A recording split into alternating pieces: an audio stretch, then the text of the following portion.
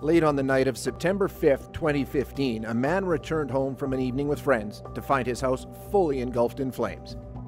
The Hinton Fire Department responded to the fire on McKenney Street, but it was too late. The home was destroyed. Provincial fire investigators attended the scene with accelerant sniffing dogs.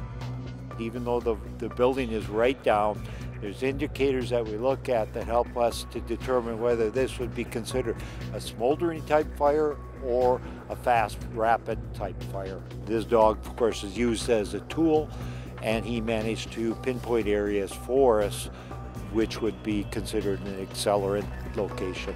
Police have no suspects.